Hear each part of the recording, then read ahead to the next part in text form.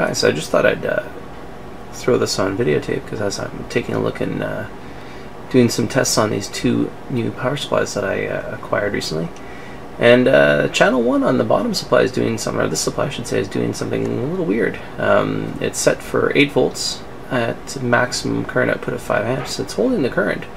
And you can see I've got a little electronic load going there. Uh, and you can see on the actual electronic load the voltage is also varying rather oddly.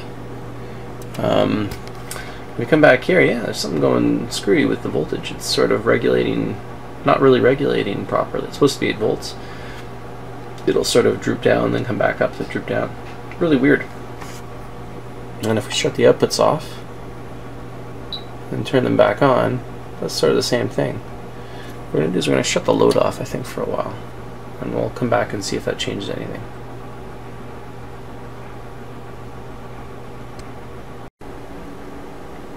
Left the part in the shaky cam because I'm just, uh, as I said, I just grabbed the video camera and started recording. This is channel 2 of the same power supply. Uh, and again, same test, uh, maximum voltage, maximum current. Uh, and again, you can see it's holding constant approximately 5 amps. So life is grand. Um, I'm not sure what's going on. If we flip back to channel 1, it's sort of recovered and you can see it's going to go down a bit and then boom it's going to re-regular regulate it looks like the regulation kicks back in. It's really weird never seen anything like that. No there's no load on this channel it's just uh, it's just uh, sitting there and doing not much. Um, I don't wonder though whether or not there's something some sort of heat uh, problem involved considering as that channel was loaded for a little bit longer it started to droop so I don't know we'll have to check that um, and of course you can switch this to high voltage and we'll go turn this all the way up to 20 volts. Um, set the limit here, 20 volts, that's fine. Maximum current, that's also fine. So yeah, I mean, you know, seems to be holding that, that seems to be okay. flip back to here, everything looks fine too. Uh, and if we switch this to high voltage as well, uh, we'll go and set the current there. Bring that up. There we go. Um, it's maxed out there. So flip that back. There we go. Uh, just bring it down. Nope. Uh,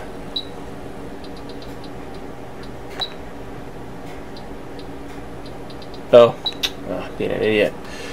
My load is set for 5 amps, of course it's not going to work. Alright, there we go. Let's bring that down just to the point. Should be 2.5 amps. Yeah, that's good enough. Yeah, sorry, my, my load was already set for 5 amps. Of course, when I switch to the higher range, it only goes to 2.5 amps. Uh, and of course, it switches immediately to constant current.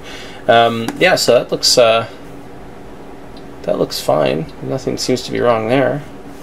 Um, this channel seems to be okay. And again, if we flip back to the other one, um, yeah. So here, I'm going to go and switch. I'm going to go ahead and unplug the load and put it back on channel 1. And we'll load down channel 1 and see what happens. Uh, and again, switch that on.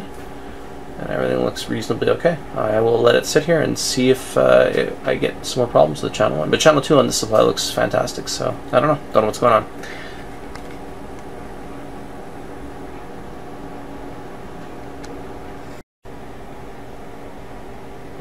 So after thinking about the, you know, thinking about this problem for a few minutes, I kind of realized, well, wait a second. The high voltage range, so that's the 20 volt range. So if we're channel one, for the high voltage range, and uh, of course, doesn't adjust the voltage, so let's go do that. We'll bring that all the way up to 20 volts, 20.2 volts. All right, there go. Now, I left it on this in this state, uh, and don't, and let's not forget channel one again is the, the channel with the problem on the low voltage range, right? And that's when we set the low voltage, 8 volts, 5 amps. But on the high voltage range, this one has been running for close to 30 or 40 minutes, rock solid.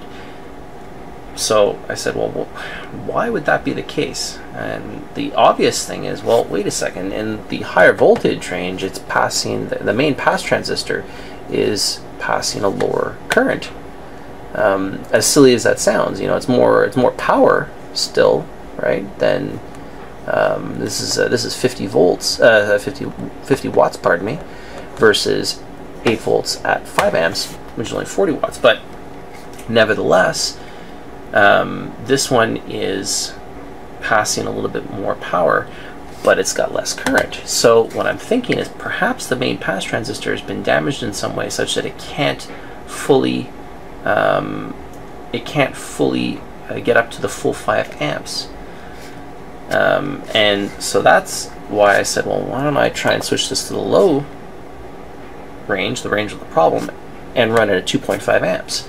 And that would seem to indicate that if there's if there's still a problem and it's not the main pass transistor, we'll still have we'll have this value start going on uh, into a non-regulated state. So let's uh, I'll leave that going and we'll uh, come back in a bit. So I just wanted to uh, say that we did I did a quick check and it stayed in a fully uh, solid 8 volts, no problem. Uh, didn't seem to go under out of regulation. So clearly, um, the problem is only at a higher current. So I suspect I'm correct with the MOSFET not being able to reach, or for whatever reason, reach um, the higher current and maintain re voltage regulation at the same time. So we're going to go ahead and uh, open up and um, see what's inside and see if we can try and measure a few voltages as per normal and uh, see if we can troubleshoot a little further. Alright, so we're going to go in and start taking a look at this thing. Um, oops, wrong way. There we go. I'm going to uh, go ahead and pull this apart, um, at least pop the back off, pop the top off, and we'll take a couple of measurements inside. Uh, essentially, I want to take a look at the two pass transistors first of all, and I want to uh, also measure a couple of points just around them. Uh, there's a couple of op amps uh, that are controlling the pass transistors for each channel. So we're going to only work with, uh, or look at channel one, because that's the only one that we have a problem with. So to get into these guys, it's fairly straightforward. You take the rubber boot off the back, and there is a Torx. Not Torx, pardon me, a hex. Uh, Torx. I'll just go try and find the right size. Uh, is that guy. A little smaller.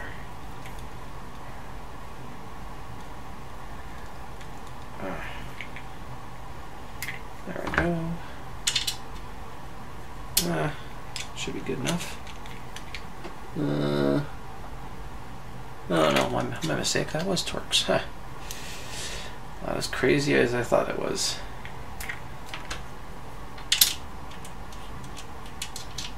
A bit small. This is probably making for a really boring video. Ah, there we go. Okay let's go get this back off.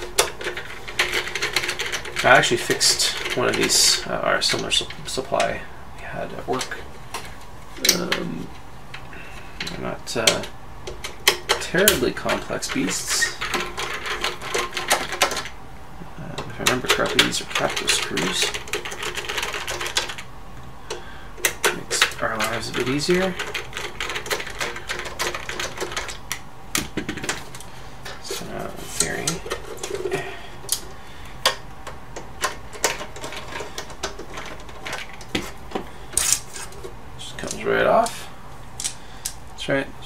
Screws.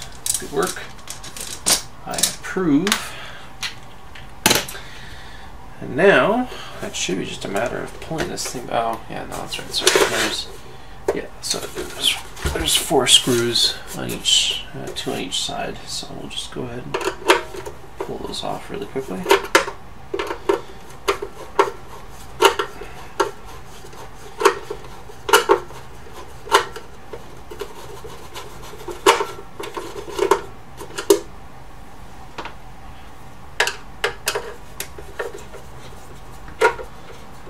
Now, I'm sort of hoping when I open this up, I'm not going to find, uh, oh, well, actually, so you can see, that's interesting. So that, that tells me, and also this, how tough was to get that guy off too, yeah. tells me that probably these have not been opened since that Loctite was put on the screws, which is actually a really good sign. It means probably nobody's been inside this unit. So if we've got a problem, nobody's actually tried to fix it. Well, let's say, I know we have a problem, but it doesn't look like anybody's been inside this unit to fix it, which is good. That means we're seeing the problem firsthand, and we can diagnose it like we're trying to. And if we're really lucky, we'll fix it.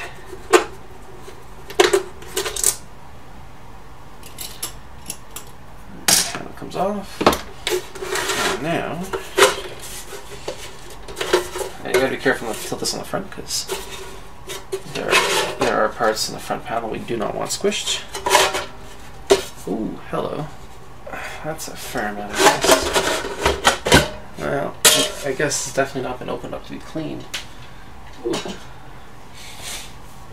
Alright, what do we have here? So right away, uh yes, okay, so uh, so we've got um, the GPIB board here, and what I'm going to do is I'm going to take that off right away because that's a pain, and we have to get the two, the board that we want actually actually the board that we want on the bottom. Now that I think about it, let's see.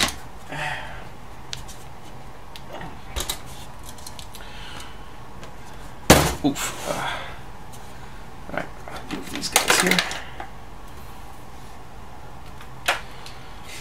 Um, so the two transistors we're interested in are these guys right here. Get my, my fat finger out of the way. Zoom in. So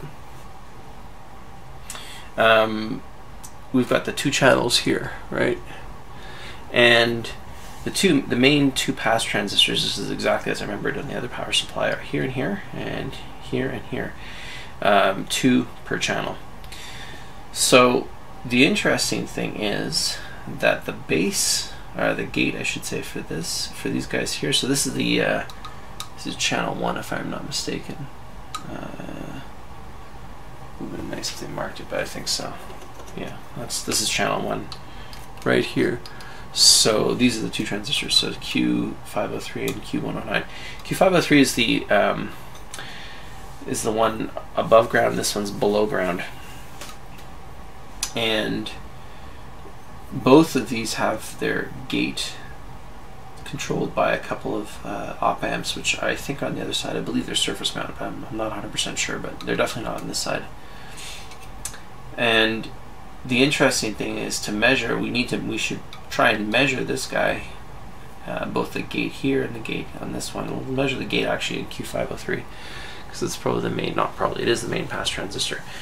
So what I'm expecting to see is that when we. Uh, so if you remember quickly, the problem was that when we have um, channel one set for greater than 8 volts uh, 2 2.5 amps it starts to oscillate it starts to you know drift up and down uh, in sort of an unregu unregulated manner so the idea would be to set to 8 volts 2.5 amps measure what's going on here on the gate of this pass transistor in a quote-unquote normal working mode. And we can also do it in 20 volts 2.5 amps. I don't think it makes a difference. I think it's really the current that's causing the grief here somewhere. Uh, this circuit is now able to generate uh, the full 5 amps that this, this unit, this uh, channel is capable of.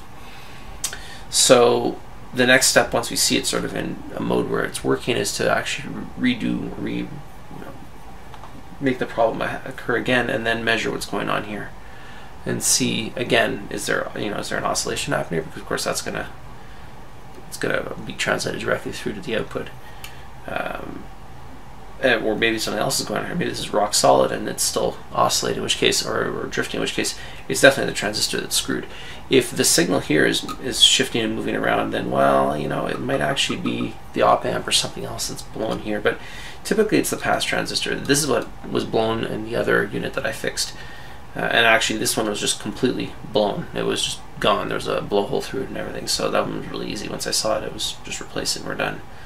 Uh, this one may be a little bit tricky, but I think it's still the same problem. So That being said, I don't have a uh, IRF 540, which is what this these two guys are.